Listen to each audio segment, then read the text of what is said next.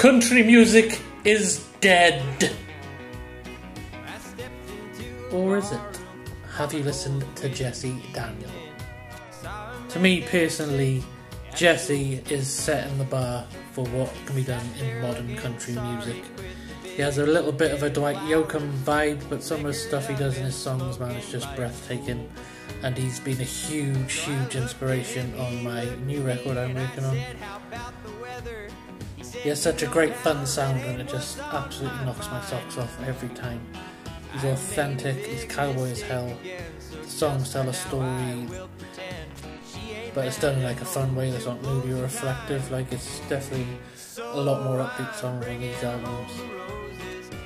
I've seen in interviews that he's had like a little trouble in the past, but he's not one of these I'm I'm a bad man sort of, you know, bullshit that you get with a lot of uh, modern singers today who spend more time pretending to be a badass than writing songs. Honestly, the whole fake outlaw thing does my head in more than pop country itself. It's like, what's the point? But I digress. Jesse Daniels always has a positive message. His songs always so well put together and like really fun to listen to. This year, Jesse playing on Gems on VHS, song called Champion, and I instantly had to go find that and play it on repeat. I absolutely love that song. Does this really cool thing on the bridge where he holds the, the beat just a little bit longer, and I do it just blows my mind every time. Which then sent me through his back catalogue.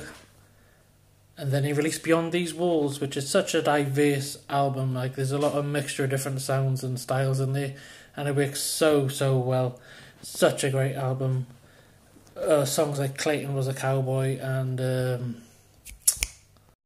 looking back, just honest to goodness great country songs. I say it's not outlaw, it's just country. It's absolutely incredible. So if you haven't checked out Jesse Daniel yet, please do so and let me know what you think in the comments.